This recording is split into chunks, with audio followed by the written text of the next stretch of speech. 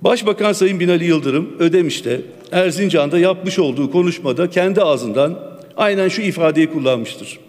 Geçtiğimiz 15 yıl içerisinde tarım ve hayvancılığa verdiğimiz destek tam 90 milyar lira. Yanlış duymadınız tam 90 katrilyon. Helali hoş olsun.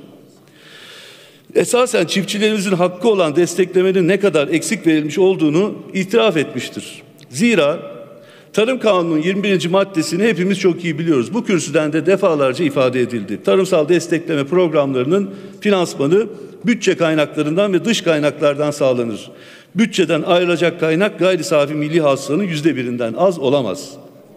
Bu hüküm gereği 15 yıllık AKP iktidar döneminde toplamda en az 156 milyar lira kanuni destekleme yapılması gerekirken ki bu Haziran 2016'ya kadar.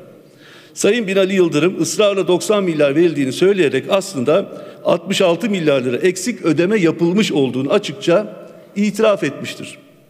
Sayın Başbakan sizlerden ricam çiftçimizin yasal ve helal hakkı olan eksik ödemiş olduğunuz 66 milyar lira borcunuzu da lütfen derhal çiftçimize ödeyiniz.